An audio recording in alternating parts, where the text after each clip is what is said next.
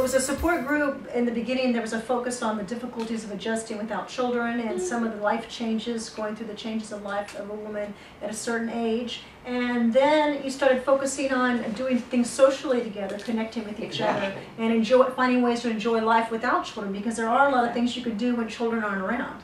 right? And Mhm. also we found out, like uh, uh, with one of the ladies that is president of the group now, that at that time sh- that she she met me, she had children in school, but they were in high school, so they didn't want her in school. So you know, it, it's a it's not exactly empty nest. It's a stage in life that you are going through and maybe people did not have children or people uh, they still have children at school but that's the way you feel and it's a stage where it's hard to start making friends all over Right, so what you're saying is even as, as adolescents become older and individually become more independent, they're less in the home, so there can be a feeling of loss even at that time. So those people kind of mm-hmm. vacillated towards your group. And then also you address the fact that maybe people who choose not to have children or haven't had children yet are still empty nesters as well. And so they, they are in the same situation they're in the same situation, so they would also be appropriate for a group of empty nesters also. And they're seeking the same kind of camaraderie,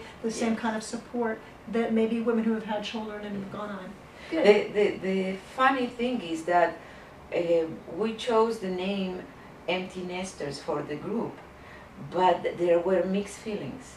Some people from some cultures they thought that empty nest is a negative wa- uh, thing because it's empty, you're an- you know anxious.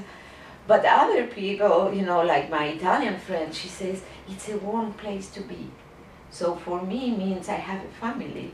Now it's empty. I have them a little bit far away, but still it's something um, warm. Mhm. And so some people like the name, some people don't like the name, and now they call themselves Next Step. Next step. That's, Yes. that's a good idea. Next step, because I've come But- across that also. That Right. empty nesters does some have a Heard some people, negative. yes, don't like it, Right. but it all depends.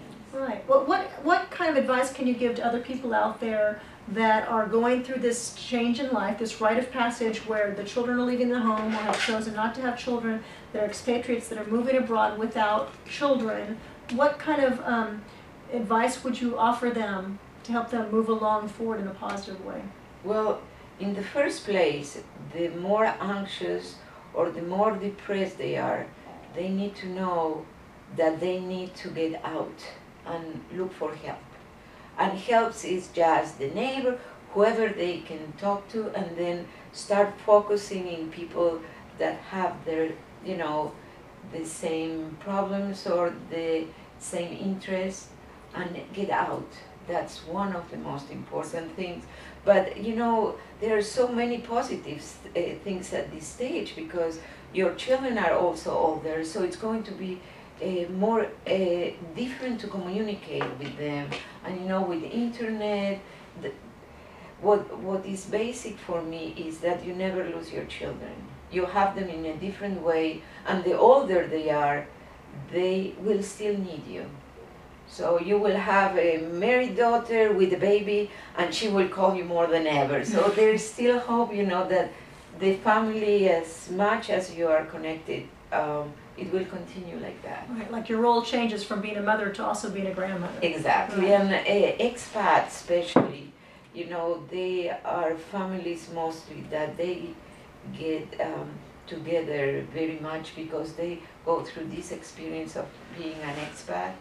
So they move around the world and they have, as a unit, you know, uh, a, a lot of strength. The cohesiveness is very Exactly, strong. and, it's- it's not going to disappear when you are far away.